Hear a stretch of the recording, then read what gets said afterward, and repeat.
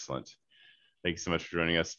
Uh, I'm going to start off with a land acknowledgement. We want to acknowledge that we gather on traditional land, even virtually, of the Kumeyaay peoples, past and present, and honor with gratitude the land itself and the people who stewarded it throughout the generations. My name is Aaron Bullard, and I am a board member of the Choral Consortium of San Diego. Uh, we are a service organization composed of choruses and individuals who support the choral art form throughout San Diego County and the Tijuana region. We are a nonprofit organization, official 501c3, uh, and we do programs like this as well as uh, other things around the year, uh, hopefully getting back into them now, uh, such as Beer Choir, and we have a Summer Sings Festival and San Diego Sings, uh, big performance that we're all uh, trying to get back under the works. If you enjoy tonight and are so inspired to support this San Diego arts and our organization, there will be a donate button in the chat here and also in the YouTube description. So if you are so moved, please uh, donate and further these programs and, and increase our uh, access throughout San Diego County. Uh, I'm going to introduce, I'm going to have our two conductors introduce themselves actually. Uh, why don't you go ahead and, and, introduce yourself first?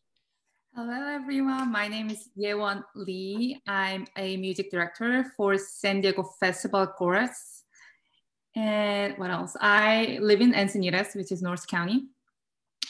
And I have been a pianist and opera coach for my life, and conducting is fairly new compared to what I've been doing.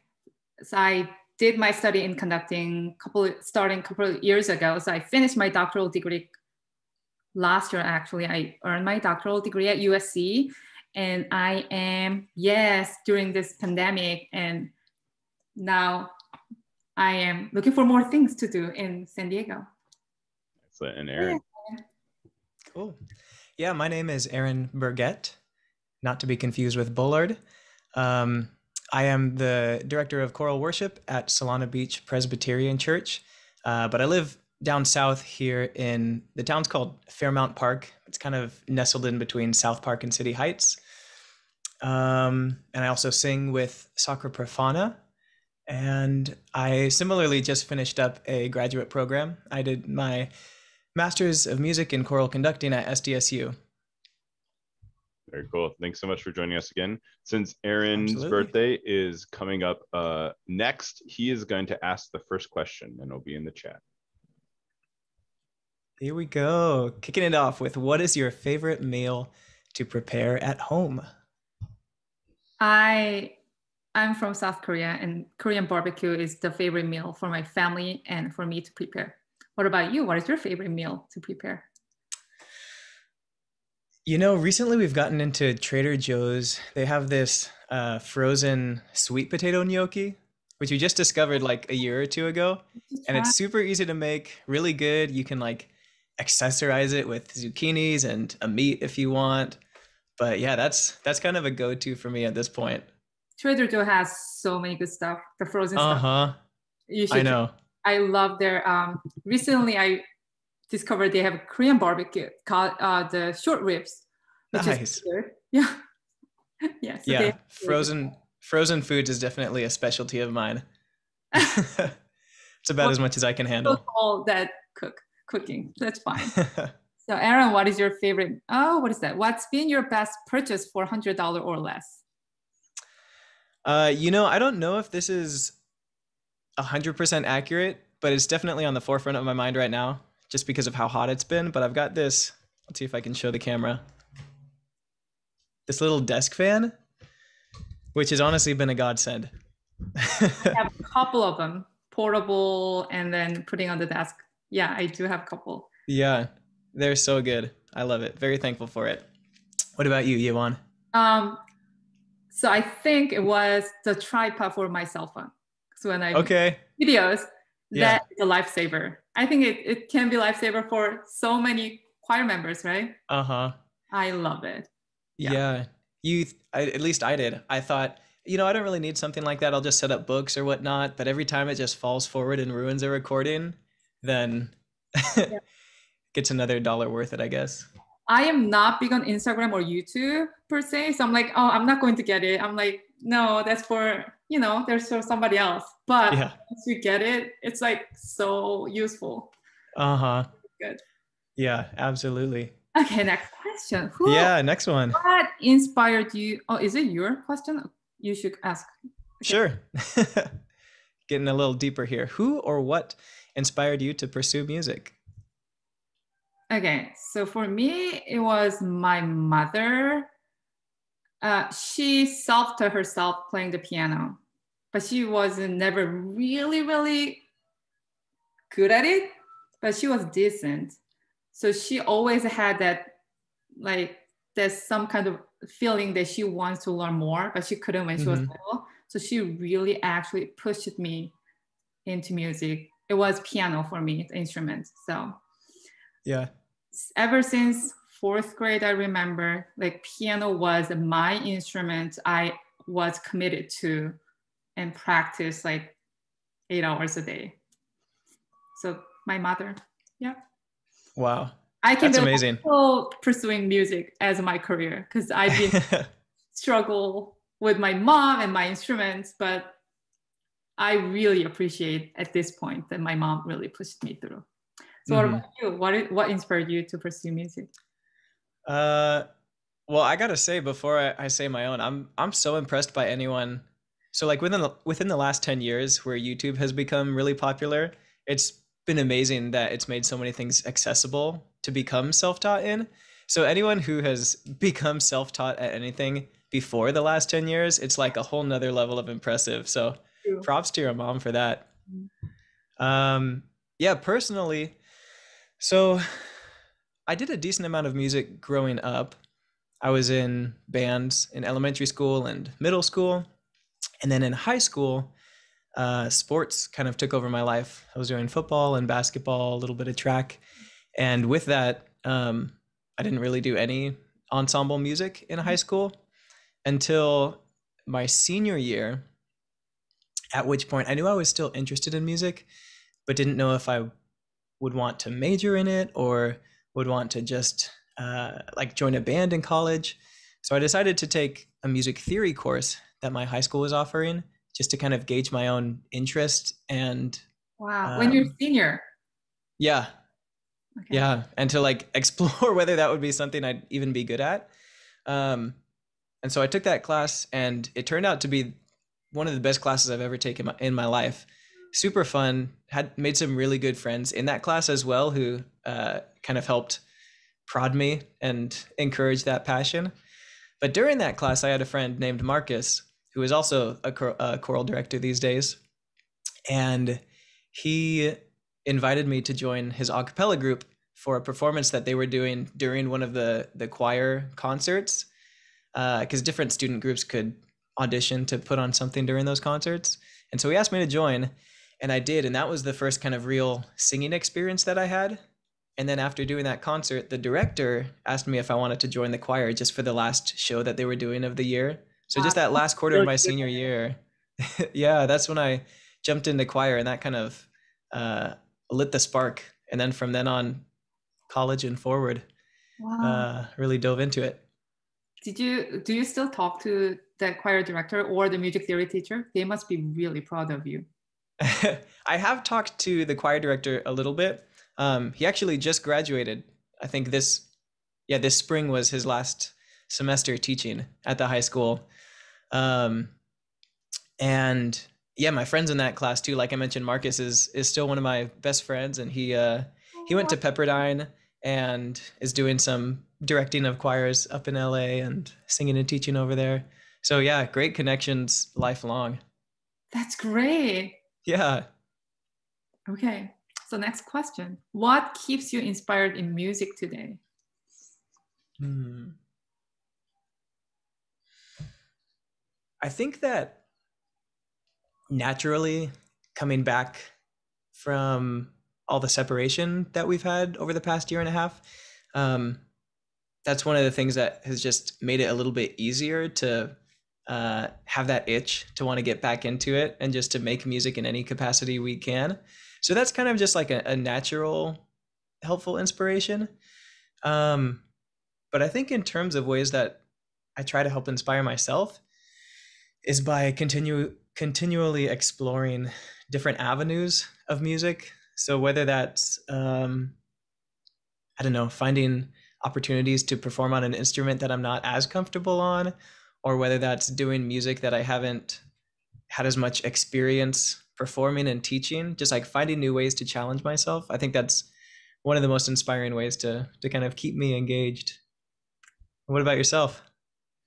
So for me, I have I really try hard to put myself in a conductor's shoes besides pianist or opera coach.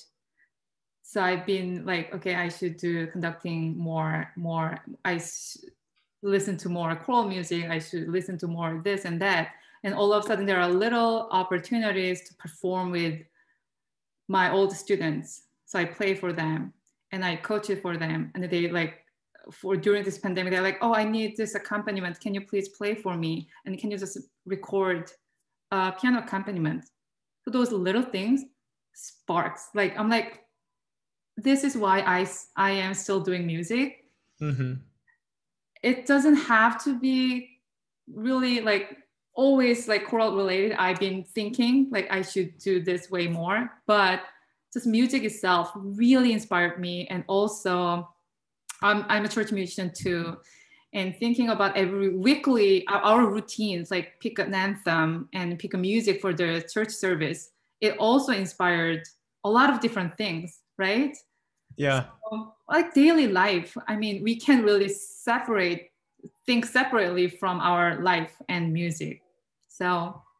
Yeah, definitely. Yeah. I will say also um, something that just came to mind is especially during my master's program recently, something that also would spark some inspiration was just realizing that even though everyone will always constantly have more that they can learn and um, a better level that we can constantly be working towards.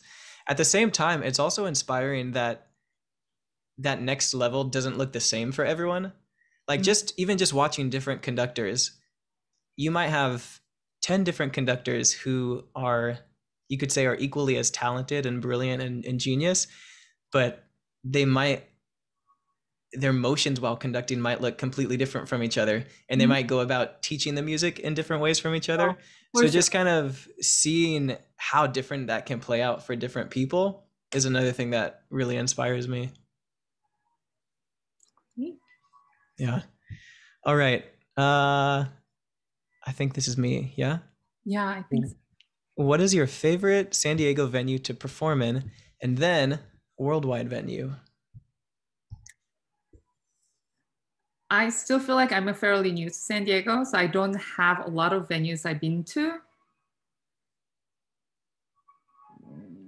Worldwide venue, definitely Carnegie Hall, because I cool. in New York and I was there. That was like my my dream and my husband's dream too. He's like, "Can I see your face in Carnegie Hall in my like my life?" I'm like, I don't know.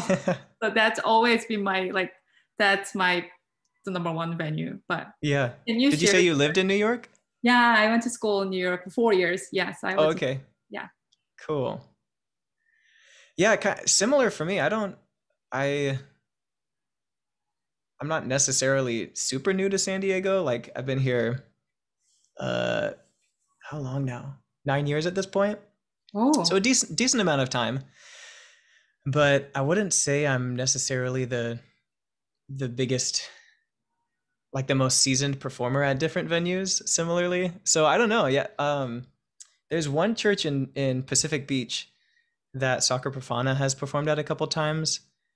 I don't remember the name of it but it's really cool and it has uh this like river looking mosaic that goes down the aisle in the center and also goes up the the wall in the back. There's a big cross in the middle. So i don't remember the name of the venue. If anyone remembers it feel free to send it to aaron and and type it in there but that's one really cool one just aesthetically to perform in. Worldwide venue um similarly i'm not the most experienced worldwide performer but we went on a couple of choir tours uh, during my undergrad program uh, the first of which was through the uk england and scotland.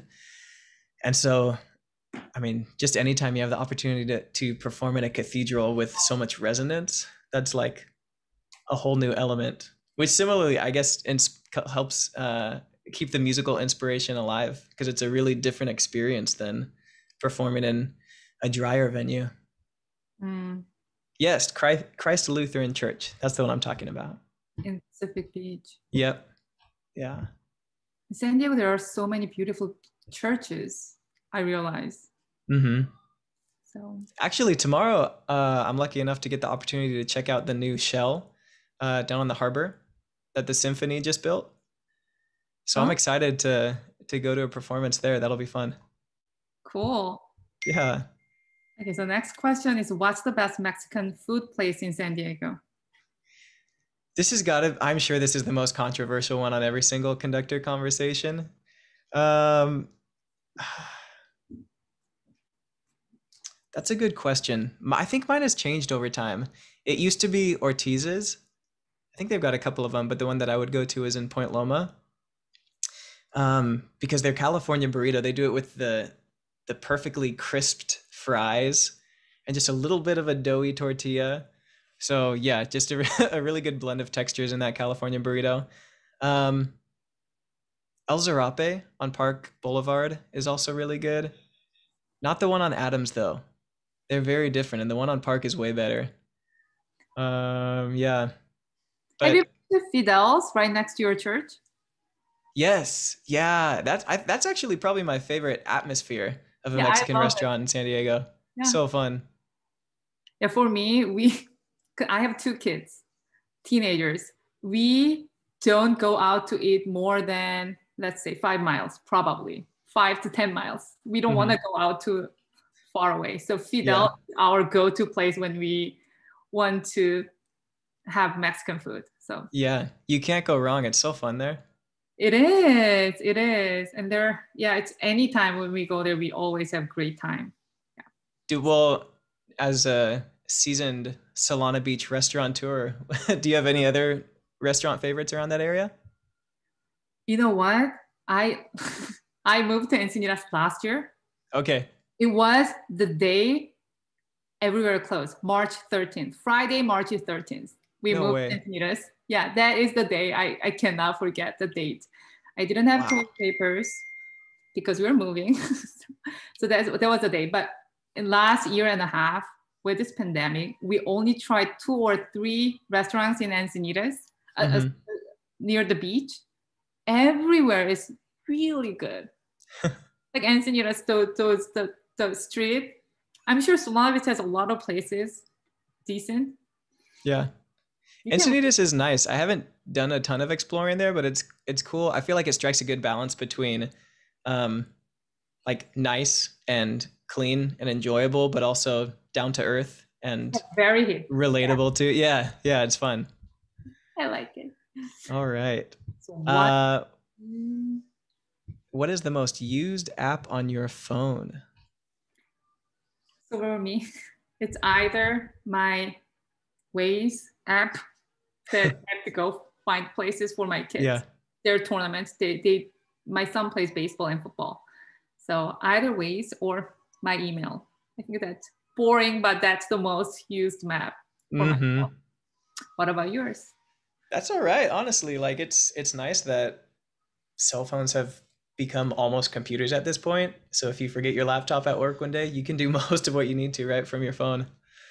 Um, for me, probably recently it's been the Amazon Prime app Oh, because I've been uh, going to the gym most mornings, and then I just put my phone up on the stand on the treadmill, and then I watch How How I Met Your Mother and take my mind off of the running while I'm going. okay. Do you remember the times you have to print out the direction and that you are following? Maybe you're not that generation. I don't No, know. yeah, I definitely experienced that. We have a map quest. We print exactly. Gosh. Yes, I can Oh, imagine. good times. Yeah, you don't want to take a wrong turn with that because there's no rerouting. No, you can't. And you're really looking for the, the road signs. I'm like, uh huh. Yeah. Yeah. that's so funny. And I don't want to use the, uh, the color ink. So I have to print black and white. Oh yeah. Fun. But thank goodness we have So true. Yeah. so let's see. What is a favorite memory of yours involving an ensemble you're currently involved with? Hmm. Well, one that that is relatively recent for me uh, was just as we're rejoining at the church. Um, I really enjoyed. We we had a, a choir picnic out on our patio uh, a couple. It was probably three or four months ago now. Um, and that was just a blast to see everyone again because we'd had like Zoom rehearsals and virtual choirs and whatnot, but hadn't all been together in the longest time, as I'm sure so many people here have experienced. Um, but that was really special. Just the first time we got to see each other again. Uh, yeah. Person now or no? Yeah. So over the summer, what we've done is basically one rehearsal a month. During the June rehearsal, we did a recording that was used during a service. Mm. And then just this last week, we also took a recording that will be used uh, later this month in a service. And then the goal is during September to start up our our weekly rehearsals in person again. Um, so hopefully that that holds out, but we'll see. What about you? How how are things? Well, I guess both. how are things going with your choirs right now, and also what what favorite memories do you have? So my favorite memory with my choir. This is going into third year with my choir, me directing. The favorite memory was when we shut down last March, we were preparing our concert in end of April, probably maybe beginning of May, I don't know. But we were preparing, but we all shut down, right? And we didn't know what to do. And we were waiting for a couple weeks and then we start Zoom rehearsal. And I'm sure a lot of choirs and choral directors experience the same thing. I jumped in uh, on making virtual choir and my choir member was like, "Ooh, I don't know, I don't want to record myself," blah blah blah. So, long story short, we did really short virtual choral piece, and we, I shared with them through Zoom. So we all watched the virtual choir project together for the first time ever for them and for me too. I mean, mm-hmm. sharing, and then I see their faces they're faced with full of joy after the couple months of lockdown and it, i will never forget that i wish i video record everything but i still i get i get chills i like i yeah. at that moment so much that really has driven me doing another virtual choir project and another one I hope we don't do it anymore. But if right. to, I can still do it because of that yeah. story was unforgettable. Yes. Yeah. So. Yeah, the joy of those virtual choir projects are very backloaded, aren't they? Because like during the process, honestly, it's not the most enjoyable. It's not fun just to sing by yourself and and record yourself on the cell phone and send it in. But then once you see the final product with everyone else, that's yeah, that's where you kind of reap the benefit of it all.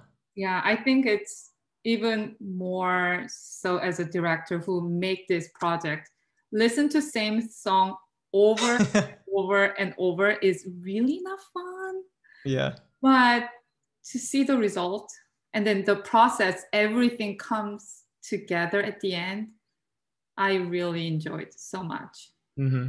Yeah yeah especially when you're just listening to like only a tenor part or only an alto part and it's like there's nothing necessarily melodic in there, but it's just like note, note, note, note, note, note. no background, just voice, right? Uh huh. Yeah. That's good. Good times. Yeah. Um. All right. Uh, next question: What have you learned about yourself during quarantine? Yeah, doing virtual choir, like completely new. I see your microphone, like it looks very professional see something like that, like audio. I mean, I'm still so baby doing this, but the fact that I started and I was able to make something, I think it's a big thing for me. Mm-hmm. What about you? What yeah, for sure. Um, what did I learn about myself during quarantine? I mean, similarly, I would say that I didn't I mean, I still don't know a lot about audio production and all that, but that was I think a learning curve for for everyone right. in the ensemble music making world. Um well, I also for me, I learned how to spend time with your family 24/7, which was great. Really, it was. We as a family we learned it was it took a couple months. I mean, let's say a couple of weeks. Months seems really long. So but we really, as a family, I have a boy and a girl, and my husband, we are getting together every day. And then at some point, we all got the routines down, and it was really enjoyable time mm. being together. Yeah. Yeah. Yeah. Yeah. I, I think, uh, I mean, maybe I'm just copying everything you're saying, but on on our end too. So I'm married. I have a wife named Maddie, and uh, we live together in this house with a couple of roommates as well. And so we actually moved in here during the pandemic in September of last year. Okay. And yeah, so that I mean, obviously it's a, a learning curve to go from just living as a couple to living with some of our best friends. But that, I mean, has been so helpful. Um, just having a little bit wider circle of interaction than we might have had otherwise. Yeah. Um, and I think, I don't know, I kind of go up and down learning this about myself, but sometimes I get much more extroverted and sometimes I get much more introverted. So, like, uh, last month or a couple months ago, as numbers were going down and things were looking better, things were opening up. Um, I was really excited to go out and see people and spend time interacting with those I hadn't seen in a long time. But then after a couple of weeks of just catching up with a lot of people who I hadn't seen in a long time, I was so ready to just not see anyone for a long time as well. So yeah, that's been another uh, thing going in waves throughout quarantine.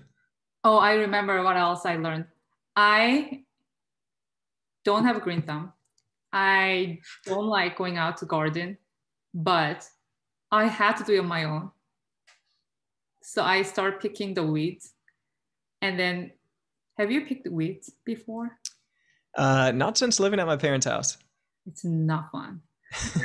and but the more you do it, the better you get it. I'm like, wow. And it's so satisfying.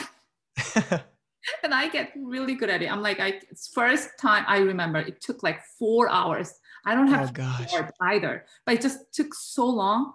But now I can do it in one hour. I'm like, oh, there and there. Okay, I'm going. No I, way. It's so funny, and that's wow. Yeah, so I don't get much stressed about the weeds anymore. so stressful last year. Yeah. Also, I started. Uh, I start hiking. Um, that was fun. Torrey Pines. Have you been to Torrey Pines Reserve? A couple times, yeah. Yep. I never knew I like I love nature. I love nature. I love it. I go yeah. day, at least once or twice. Wow. Just being there is like really good. So because during quarantine you can't really go anywhere, you know. Mm-hmm. But just walking with family, it was so refreshing and yeah yeah, the whole time, the first walk with my family, my husband was like, I didn't know you love nature this much. I kept saying, I'm like, me neither. I didn't know. So yeah. Well, especially living in San Diego and having the opportunity to have spent a lot of time outside, whereas with That's most cool. of the country, obviously fall and winter comes and you have to kind of stay inside. So yeah, that's a big, big upside for us living here. We're so lucky. Yeah. Mm-hmm. Yeah. All right. Who's asking this one? I am going to ask you. You only get one song to listen to for the rest of your life. what is it? It'd probably have to be something long because I I mean there might be shorter songs that I love, but in terms of listening for the rest of my life, I'd need some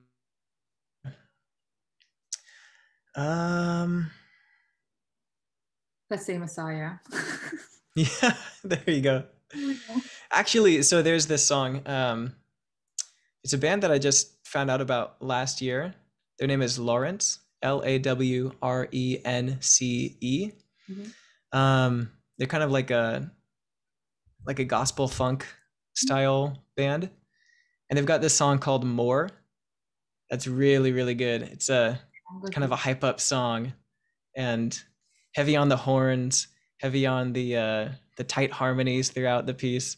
Yeah, that's a good one. So that might be at the front of my list right now.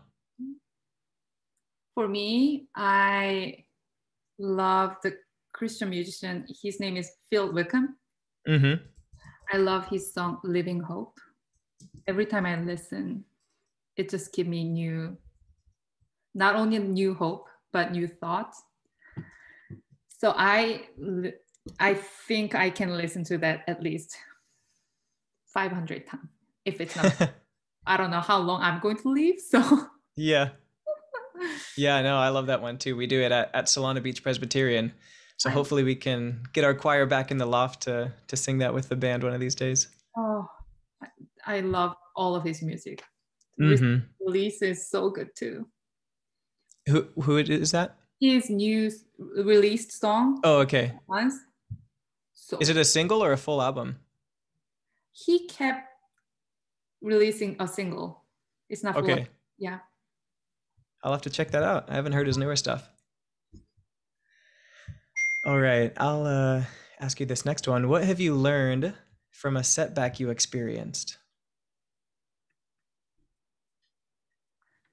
So for me, there was time. My husband Daniel, he worked in Korea for two years while I was full-time student, and I had two kids in elementary school.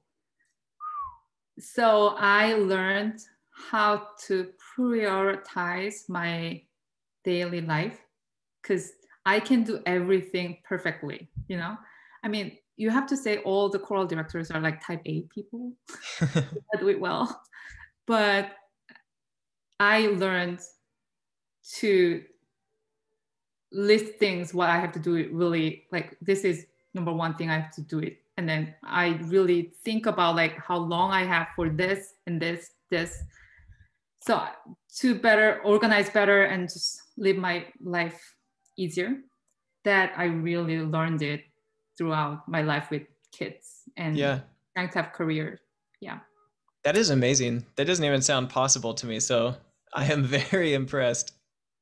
I drove to USC from San Diego for two years, Oh my gosh. four days a week. Wow. I was done, and it was That is so wild. worth it. If you want to get DMA degree, I strongly recommend USC. You can do it from San Diego. Fine, it was fun. It's a great experience. did you ever cross paths? Well, when did you finish your program at USC? You said just this last spring? Last I, f- I finished with my, my dissertation, but I was school 2014 through 17. Okay, gotcha. Mhm. Um, you might have crossed paths with Jacob Broussard. Oh, You know him? undergraduate. Yes, tall. Yeah, Yeah. yeah. Well, he was one of my best friends in that uh in that music theory class in high school. You are kidding me. Yeah. Oh, small world. Uh huh. I was with his uh, same choir, chamber choir, for two years, I believe, with him. Okay. Cool. Fun, fun person. He composed music really well too. You know. that? Yeah. Right. Yeah, I think I'm trying to remember. I think he originally declared a music composition major and then maybe switched to choral music. He was at least considering it, but yeah, he's a really good composer. Yes, he is very talented. Mm-hmm. Oh, small world. Yeah. I assume you know Sonder Choi as well. Oh, yeah, yeah, yeah. Of course, Thunder. Yeah, Yeah, yeah. Yeah. Very fun. he's amazing. Mm-hmm. Yeah. Um yeah, uh setback that I experienced. Um I mean I think so like one thing that comes to mind is uh when I was in my undergrad program, I was auditioning to be the music director of my a cappella group and uh didn't end up getting voted into the position. Uh, but eventually, a few months later, things fell through with the other person who was who was serving in that role, um, and you know, at that time was when I stepped into filling that music director position. So I think from an experience like that, something that I took away was um, first of all just be prepared because you never really know when opportunities are going to open up for you. But there have been other times where like doors have closed and i've been turned down from positions. And then looking back at them in the future i think you know I, I think ultimately i'm glad that i didn't end up in that role. Um yeah so luckily things have worked out that way and i know that's not necessarily always the case but i think a takeaway that a lot of people could mm. could learn from an, an experience like that is just to um like make the best of what situations come your way and and find how you're gonna adjust from whatever has come at you rather than um i guess sulking and and staying upset for too long about an opportunity that's fallen through yeah it is really hard to take that and just set aside and then keep going forward. Mm-hmm. it is really important. Yeah. Yeah. I, and I'm, I'm sure most musicians know how how frequently those rejections come. Yes. Yes. I was so glad that i was pianist not a singer because singer does way more auditions than directors or pianists, right? Mm-hmm. They have so many auditions. I played for them so many times and I went through all this. I don't want to say failure, but you don't get callbacks and you don't get calls. But mm-hmm. I think I learned a lot from them too, as well, how to move forward and never give up. And we all always we say there's always there's a reason, you know, some things happen and there will be a place for you so that, that's great. That's great. Yeah. yeah. Yeah. Okay, so what artist or group would you most like to collaborate with? Ooh. Uh, speaking of learning from watching fantastic conductors over the past couple years, um, Jason Max Ferdinand from the Aeolians of Oakwood University. I got to see them perform at ACDA a couple of years ago, and that group puts on life-changing performances. They are so so good. And let me actually just type that into the chat so that anyone can look them up. Um yeah, if there was ever the opportunity presented to me to do anything with that group, that's that's something that I would drop everything for and and make it work. That's kind of a dream of mine. Aeolian. I just think about yeah. the, the like A minor scale. Yep. Yeah. Right. What about you? Dream artist and group to collaborate with? You know why? Really, maybe that's really bad. I just love my group so much. I'm like, do I have to collaborate with somebody? I'm like, I'm like, uh, I just want to have my group. That's a good place to be. Satisfied. So I don't know. I'll just skip this question. nice. All right. Um, okay. Yewon, describe the rest of your life in five words. Like from from this point on. Is that what you're asking, Aaron? Okay. Can we just do five separate words? Uh-huh. If I can do five words, I will do family. Family, God, music, thankful, happiness. Those five. That's going to be my life. Mm-hmm. There'll be a successful life if I have this five like there. yeah. Wow. What more do you need? I mean, ditto. Yeah. I'm trying to think if there are any words that I would change or add to that for my own. Travel. That's oh, another thing that that I value. Yeah. Okay. So that would be a. Uh, so our our our senior pastor, Pastor Mike McClenahan, he has done the Camino de Santiago, which is in Spain. It kind of stretches all the way from f- France to the west end of Spain. Yeah. Yeah. yeah. It's a pilgrimage that a lot of people yeah. do across the country, like 500 miles long, depending yeah. on the route you take. Mm-hmm. Um, and he was just actually back there a couple of weeks ago doing another smaller portion of it. Oh.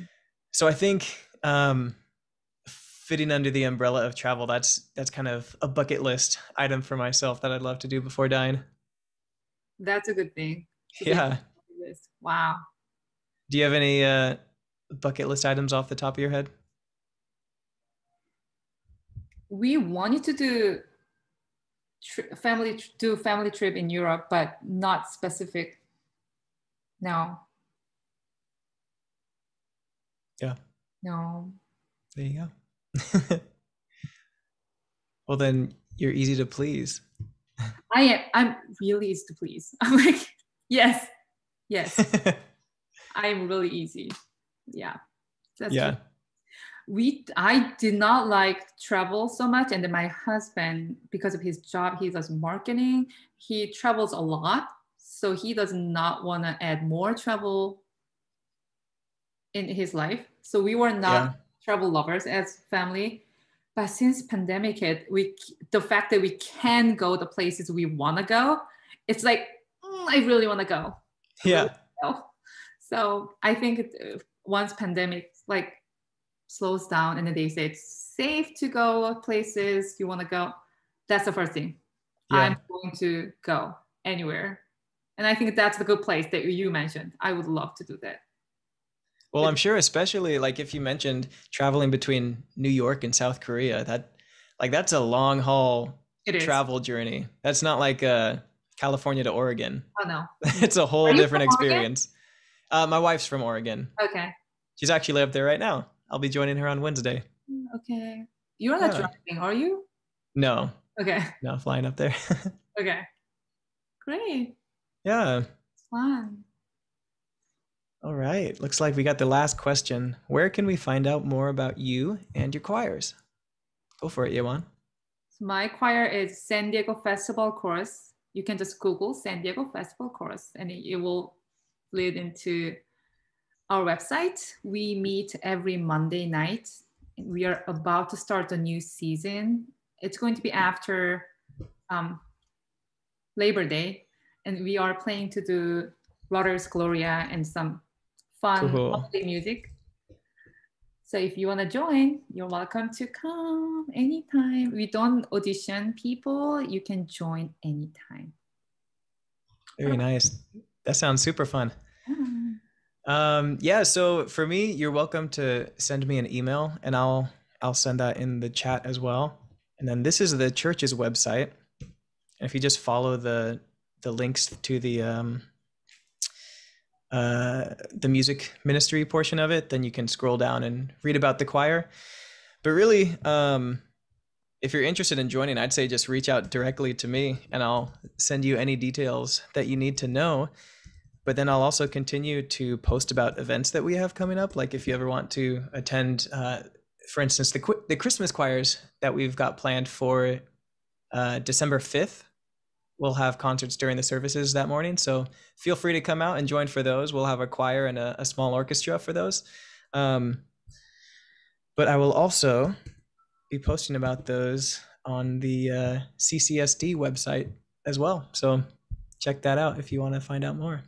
Oh, I'm going to put my email too. If anybody has a question, they can come um, ask me.